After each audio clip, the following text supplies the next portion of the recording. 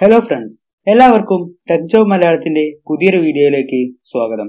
ഇന്ന് ഞങ്ങൾ നിങ്ങളുമായി ഷെയർ ചെയ്യാൻ പോകുന്നത് ഇന്ത്യൻ എയർഫോഴ്സിന്റെ കോമൺ അഡ്മിഷൻ ടെസ്റ്റ് നോട്ടിഫിക്കേഷൻ ആണ്. ഇന്ത്യൻ എയർഫോഴ്സിലെ ടെക്നിക്കൽ ആൻഡ് നോൺ ടെക്നിക്കൽ ബ്രാഞ്ചുകളിലേക്ക് ബി ആൻഡ് ബി ടെക് കഴിഞ്ഞവർക്കും ഫൈനൽ ഇയർ ആയവർക്കും അപേക്ഷിക്കാവുന്ന ഒഴിവുകളാണ് ഇപ്പോൾ വിളിച്ചിട്ടുള്ളത്. അപേക്ഷിക്കേണ്ട അവസാന തീയതി പതിനാല് ഏഴ് രണ്ടായിരത്തി ഇരുപതാണ്. ഇന്ത്യൻ എയർഫോഴ്സിന്റെ വെബ്സൈറ്റ് വഴി നിങ്ങൾക്ക് ഓൺലൈനായി അപേക്ഷിക്കാവുന്നതാണ്. ടെക്നിക്കൽ നോൺ ടെക്നിക്കൽ ഫ്ലൈയിങ് എന്നീ ബ്രാഞ്ചുകളിലായി ഇരുന്നൂറ്റി അൻപത്തി ആറോളം ഒഴിവുകളാണുള്ളത്. ഇനി നമുക്ക് ഓരോ ബ്രാഞ്ചുകളിലേക്കുള്ള എൻട്രി രീതികളും വാക്കൻസികളും നോക്കാം. ഫ്ലൈയിങ് ബ്രാഞ്ചിലേക്ക് പുരുഷന്മാർക്കും സ്ത്രീകൾക്കുമായി എഴുപത്തിനാല് വാക്കൻസികളാണുള്ളത്. വാക്കൻസികൾ പറയുമ്പോൾ P C S S C എന്നിങ്ങനെ വേർതിരിച്ച് നൽകിയിരിക്കുന്നത് കാണാം. പി സി എന്നാൽ പെർമനന്റ് കമ്മീഷൻ എന്നും എസ് എസ് സി എന്നാൽ ഷോർട്ട് സർവീസ് കമ്മീഷൻ എന്നുമാണ്. ഷോർട്ട് സർവീസ് കമ്മീഷൻ തിരഞ്ഞെടുക്കുന്നയാൾക്ക് ഒരു നിശ്ചിത കാലാവധി ഏകദേശം പതിനാല് വർഷത്തോളം ആണെന്ന് തോന്നുന്നു. ഈ കാലാവധി വരെ മാത്രമായിരിക്കും സർവീസിൽ ഇരിക്കേണ്ടത്. എന്നാൽ പി സി ആണ് തിരഞ്ഞെടുക്കുന്നതെങ്കിൽ നോർമൽ റിട്ടയർമെന്റ് സമയം വരെ സർവീസിൽ തുടരേണ്ടി വരും. ഇനി അടുത്തത് ഗ്രൗണ്ട് ഡ്യൂട്ടിയാണ് ടെക്നിക്കൽ ഗ്രൗണ്ട് ഡ്യൂട്ടിയിൽ നൂറ്റഞ്ചോളം ഒഴിവുകളും നോൺ ടെക്നിക്കൽ ഗ്രൗണ്ട് ഡ്യൂട്ടിയിൽ പതിനഞ്ചോളം ഒഴിവുകളാണുള്ളത്.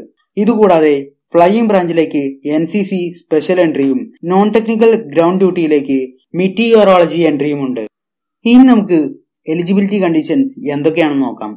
കാൻഡിഡേറ്റ് ഒരു ഇന്ത്യൻ സിറ്റിസൺ ആയിരിക്കണം. പ്രായപരിധിയിലേക്ക് വരുമ്പോൾ ഫ്ലൈയിങ് ബ്രാഞ്ചിലേക്കാണെങ്കിൽ ഇരുപതിനും ഇരുപത്തിനാലിനും ഇടയിൽ പ്രായമുള്ളവർക്കാണ് അപേക്ഷിക്കാൻ കഴിയുക. ഗ്രൗണ്ട് ഡ്യൂട്ടിയിലാണെങ്കിൽ പ്രായപരിധി ഇരുപതിനും ഇരുപത്തിയാറിനും ഇടയ്ക്കാണ്. ഇരുപത്തിയഞ്ച് വയസ്സിൽ താഴെയുള്ള വിവാഹിതർക്ക് അപേക്ഷിക്കാൻ സാധിക്കില്ല. ഇനി എഡ്യൂക്കേഷണൽ ക്വാളിഫിക്കേഷൻ നോക്കാം. ഫ്ലൈയിങ് ബ്രാഞ്ചിലേക്കാണെങ്കിൽ പ്ലസ് ടു എക്സാമിൽ മാത്സിലും ഫിസിക്സിലും കുറഞ്ഞത് അൻപത് ശതമാനത്തോളം മാർക്ക് വാങ്ങി പാസ്സായവരായിരിക്കണം.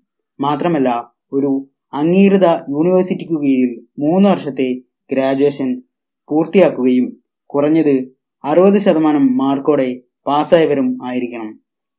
ഇനി ബി ഓർ ബിടെക് ഡിഗ്രി ഉള്ളവരാണെങ്കിൽ കുറഞ്ഞത് അറുപത് ശതമാനം മാർക്കോടെ പാസ്സായിരിക്കണം.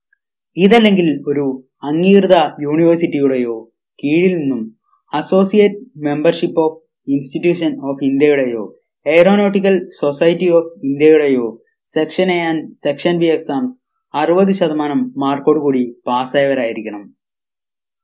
ഗ്രൗണ്ട് ഡ്യൂട്ടി ടെക്നിക്കലിലേക്കാകുമ്പോൾ എയറോനോട്ടിക്കൽ എഞ്ചിനീയർ ഇലക്ട്രോണിക്സിനും എയറോനോട്ടിക്കൽ എഞ്ചിനീയർ മെക്കാനിക്കലിലേക്കുമായി നിരവധി ബ്രാഞ്ചിൽ ഉൾപ്പെട്ടവർക്ക് അപ്ലൈ ചെയ്യാം. മെറ്റീരിയോളജി അപ്ലൈ ചെയ്യാൻ ഏതെങ്കിലും പോസ്റ്റ് ഗ്രാജുവേഷൻ ഡിഗ്രി ആവശ്യമായി വരും. ഇനി എങ്ങനെ അപ്ലൈ ചെയ്യാമെന്ന് നോക്കാം. താഴെ കൊടുത്തിരിക്കുന്ന ലിങ്കിൽ കയറി ഓൺലൈൻ രജിസ്റ്റർ ചെയ്യാവുന്നതാണ്. ഇതിനായി ആധാർ കാർഡ് നിർബന്ധമാണ്. ഇനി നോട്ടിഫിക്കേഷനിൽ പറഞ്ഞിരിക്കുന്നത് പോലെ നിങ്ങളുടെ ഡീറ്റെയിൽസും മറ്റും നൽകി രജിസ്ട്രേഷൻ പ്രോസസ് കംപ്ലീറ്റ് ചെയ്യുക.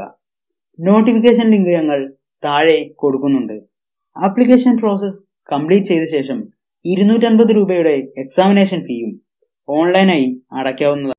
ഗവൺമെന്റ് സ്ഥാപനത്തിലോ അല്ലെങ്കിൽ ഗവൺമെന്റിന്റെ അധീനതയിലുള്ള സ്ഥാപനങ്ങളിലോ വർക്ക് ചെയ്യുന്നവരാണ് അപ്ലൈ ചെയ്യുന്നതെങ്കിൽ അവിടെ നിന്നുള്ള പെർമിഷൻ അപേക്ഷയുടെ കൂടെ സബ്മിറ്റ് ചെയ്യേണ്ടതാണ്. A F S B testing നടക്കുമ്പോൾ എൻ ഒ സിയും നൽകേണ്ടതാണ്. രണ്ട് ദിവസങ്ങളിലായാണ് എക്സാം നടക്കുന്നത്.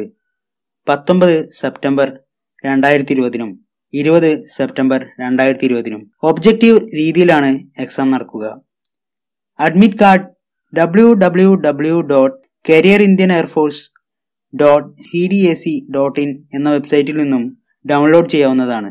കേരളത്തിൽ കണ്ണൂർ തൃശൂർ തിരുവനന്തപുരം എന്നീ മൂന്ന് പരീക്ഷാ കേന്ദ്രങ്ങളാണുള്ളത്. ഇതുപോലുള്ള ടെക് ജോബ് റിലേറ്റഡ് നോട്ടിഫിക്കേഷൻ വീഡിയോസിനായി ഞങ്ങളുടെ ചാനൽ സബ്സ്ക്രൈബ് ചെയ്യുക. നോട്ടിഫിക്കേഷൻ പെട്ടെന്ന് തന്നെ ലഭിക്കുന്നതിനായി ബെല്ലൈക്കൺ കൂടി ഇനേബിൾ ചെയ്യുക.